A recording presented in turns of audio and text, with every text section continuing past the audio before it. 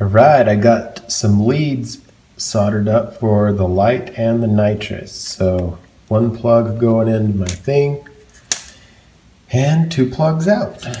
So these will get plugged into that. I'm now going to cut, here's my light wire and here's my nitrous wire. I'm going to solder some bullet connectors on the end of those wires so I can plug those in. Then in the summertime, when I unplug the nitrous, I can still have my light plugged in. Okay, I got my wires soldered up. Here's the ones that will go in the main power.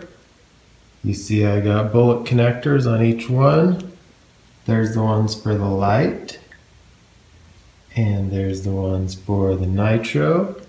As you can see, only black can go on black and red, red or red can't go on black. So here's my custom intake, which cost me like $30 instead of 110. The blue piece is simply a two inch by two and a half inch, 45 degree silicone turbo tubing or whatever is what they call it. It costs $8. Couple hose clamps. The black wire going into that tube is for my nitrous. So that's my little injector for the nitrous. There's a piece of PVC down in there that's about a two and a quarter. Um, it's a hair smaller than I needed. I actually have an aluminum two and a half inch adapter coming in the mail, but I want a freaking ride, so that's what we put in there. Anyways, this top piece is simply a six inch tall by I think three or four inch outerwears um, pod filter. It comes with the outerwears cover. Just for the heck of it, I'm going to throw the Timbersled uh, big old boy thing on there too. Probably just uh, use rubber bands to keep it tight. Anyways, yeah, there's your intake.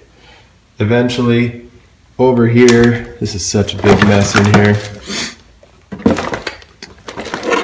I am going to have, I have on order some uh, frog skin to put over these holes. I'm going to drill holes here and have intakes right there too.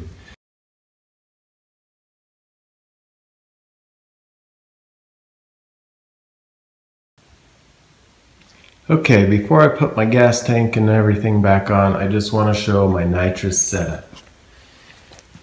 Down here, you got the nitrous bottle, the clamps, everything holding it on. I ran my hose right up through here. Over to the right side, I see a zip tie that I need to clip off. It comes up through there by the muffler, then comes over and is sitting right here at the solenoid. From the solenoid, you got wires coming out the back, and you got your little nitrous tube, the most important tube on the bike. From there, I snuck my wires over along through here, and then up and under, obviously that area, then everything comes up into the air box. Right there behind my filter is a whole mess of wires and the controller. Uh, everything's plugged into there. The battery's plugged in to here. My light is also plugged into those wires as you saw earlier. Got my AFR gauge up here. I hit it in my uh, bar pad there's the magic button. And I just hope to heck I plugged everything up right. Right now I'm gonna put the gas tank on and just start it up and see if it's working. I forgot to mention, I did have this oxygen sensor welded into my pipe by the motorcycle shop here in town. Plaza Power Sports. Thank you very much.